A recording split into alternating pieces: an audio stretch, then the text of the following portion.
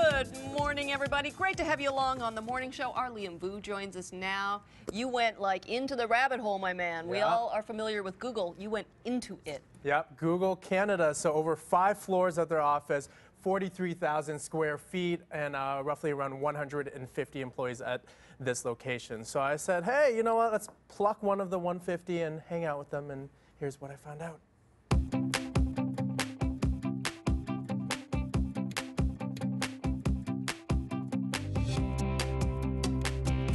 My name is Alexandra Cohn, and I'm a senior industry analyst here at Google. My job is to understand what happens in retail in Canada, what e-commerce looks like, but also how consumers and Canadians use technology to shop. I applied to Google many times over the years, and it was probably about my fourth application uh, where I was successful. So I had actually gone with a friend to her ultrasound and she was about to see her baby for the first time when I got the call that I got the job at Google. Uh, and I think my tears were probably more than hers. Ultimately, it's, it's about encouraging people to move around in a literal sense, um, whether you're in the gym or at your standing desk, or uh, in a more metaphorical sense, to basically spend time um, interacting outside away from your desk where those, those eureka moments can happen. Is the ice cream floor. Uh, we have ice cream in the freezer, but by far the best part about this floor and what most Googlers, Googlers here really love is the Froyo machine. Now I'm ready to work. So now we're going to see one of my favorite rooms, which is our secret library. So if you follow me. This is a great place to escape to if you just want to step away from your desk and refresh, meet with other colleagues, and have some privacy. Welcome to our secret library. It's a really cozy room, uh, and I love the fact there's a Scrabble board that you get to play with. Me.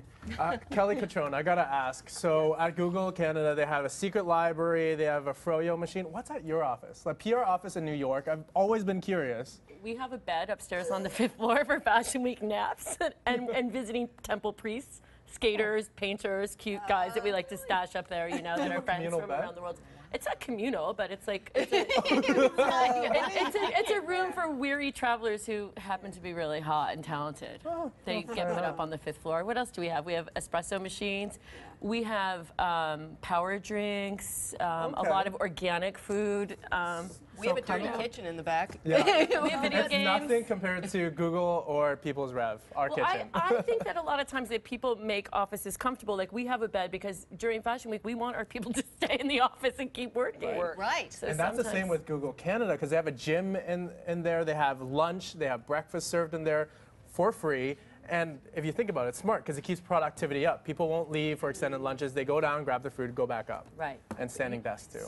Yeah. It's, it's an interesting take on office culture when you look at Google or Facebook or all these other types of uh, new media You're so companies. right, though, Kelly. I think it's the same thing. Like, it's great. It looks amazing, but ultimately, the employer wants you to stay at work. I think it's about lifestyle right now. I think we do have to leave for lunch. I mean, looking back at how many nights that I stayed up all night and worked all night and produced fashion shows, I regret that I didn't have better boundaries between my work life and my personal life. And I think it is really important to get out of the office. I mean, who wants to be an elliptical machine with your coworker next to you? Whoa, how's it going? Yeah, yeah, don't worry. Edith is coming right down. Get that document on your thing. Like, can you imagine your boss like, hey, Jack, what's up? You're So like, would you "Ah." be excited about that if your office had a secret bookcase that opened to a secret room and like a No, I put a machine? camera in there. You got to watch the PR. girl. I know. I think someone during our meeting was asking the question: Does any hanky panky going down in there? I think I said know. that. I mean, what goes on in this I private know, room? in this secret room. I'm a simple girl. I'll take the yogurt. That'll be, that'll Yeah. be part two of Done. Liem's investigation. Coming up next,